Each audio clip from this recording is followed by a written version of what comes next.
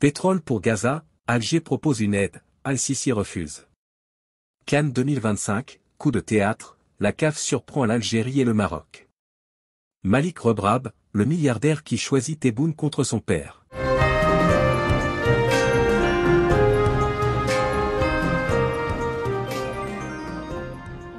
Énergie pour la Palestine, Alger propose une aide, mais l'Égypte hésite. L'Algérie souhaite fournir gratuitement des hydrocarbures à la bande de Gaza afin de répondre à ses besoins énergétiques.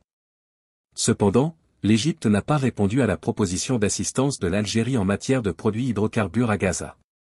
Des responsables égyptiens de haut niveau ont évité de répondre aux récentes interrogations du gouvernement algérien concernant le soutien à Gaza.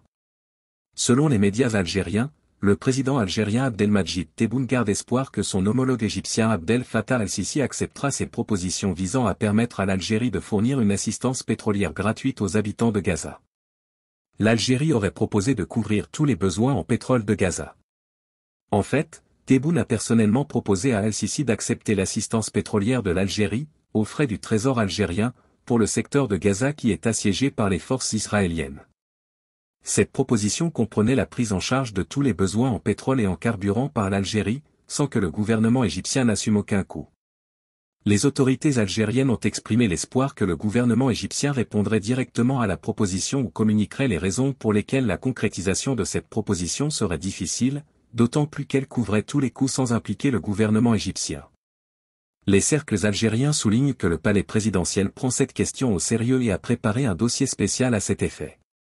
Des instructions ont été données à l'ambassade algérienne au Caire pour suivre ce dossier, mais jusqu'à présent, il n'y a eu aucun développement. Tebboune a proposé que le gouvernement algérien gère et transforme toutes les quantités de carburant nécessaires au fonctionnement des secteurs vitaux de Gaza, aux frais du gouvernement algérien, sur le modèle de l'aide fournie par le gouvernement qatari. Cependant, l'Égypte s'est abstenue, pour l'instant, de prendre position sur cette question. Certains analystes politiques évoquent les relations du gouvernement égyptien avec Israël comme l'une des raisons de ce silence qui ressemble à un refus. Les relations entre l'Égypte et Israël ont évolué depuis les accords de Camp David en 1979, mettant fin à l'état de guerre et établissant des relations diplomatiques. Les deux pays ont coopéré dans les domaines de la sécurité, de l'économie et de la diplomatie régionale, bien que l'opinion publique égyptienne reste souvent méfiante envers Israël l'Algérie soutient traditionnellement la cause palestinienne et n'a pas établi de relations diplomatiques avec Israël. Par conséquent, cette aide pourrait être source de désaccords entre les deux pays voisins, ce qui expliquerait la réticence de l'Égypte à accéder à la demande de l'Algérie.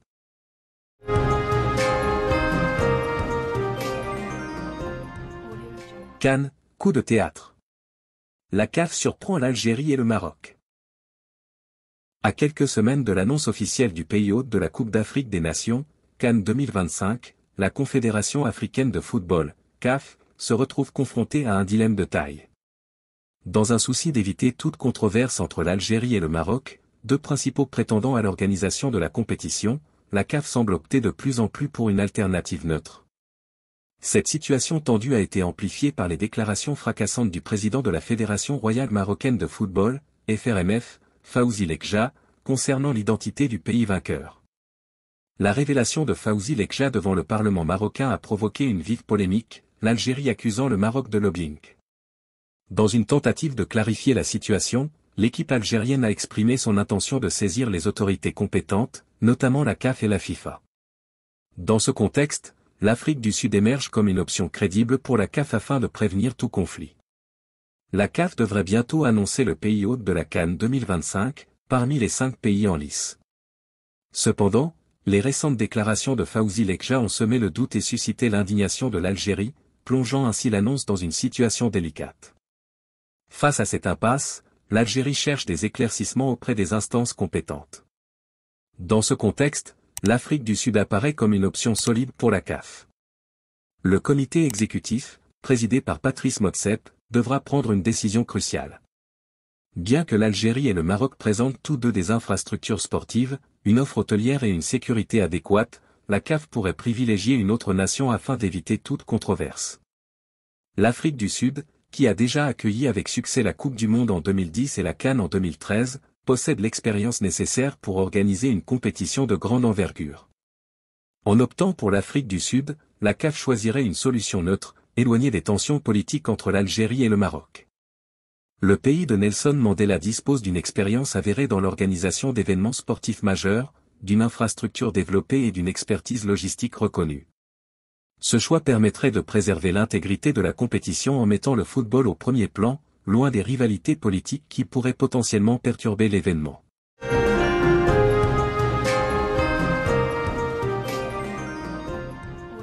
Malik Rebrab, le milliardaire qui choisit Tebboune contre son père.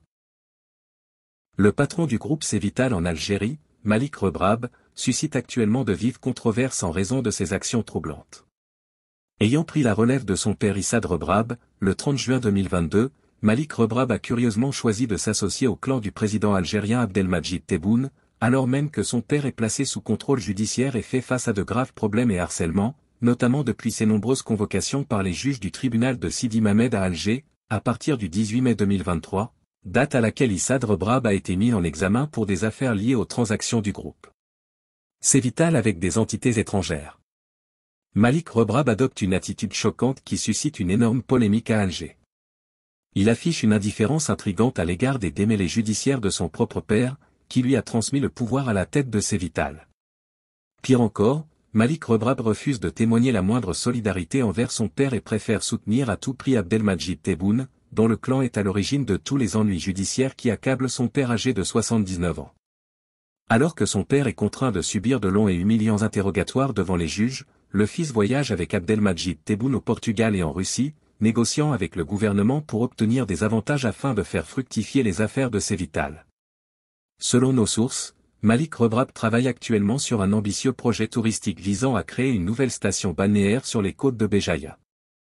Un projet pour lequel il aurait reçu des encouragements et des soutiens du clan Tebboune. Par ailleurs, Malik Rebrab mène une intense campagne de lobbying pour obtenir le privilège ultime de la part du gouvernement algérien, le droit de reprendre les exportations de sucre vers l'Europe, alors que l'interdiction d'exportation de ce produit alimentaire est en vigueur depuis mars 2022 pour tous les opérateurs économiques algériens. Pendant que Issad Rebrab est maltraité, harcelé et menacé de prison, son fils Malik Rebrab est curieusement choyé et favorisé par le pouvoir algérien. À Alger, ce contraste interpelle et fait jaser.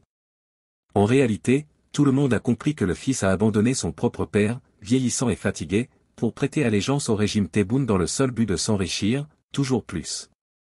Il convient de rappeler que l'homme d'affaires à la retraite et ancien chef du plus grand groupe algérien a déjà été détenu en avril 2019, suite à des accusations liées à des déclarations frauduleuses sur des transferts illicites de capitaux à l'étranger, à la surfacturation d'équipements importés et à l'importation de matériel d'occasion alors qu'il bénéficiait d'avantages douaniers, fiscaux et bancaires. Il a été libéré le 31 décembre 2020 après huit mois de détention. Le choix de Malik Rebrab suscite des critiques acerbes et des railleries. Abonnez-vous à notre chaîne. Cliquez sur la cloche pour rester au courant de l'actualité algérienne.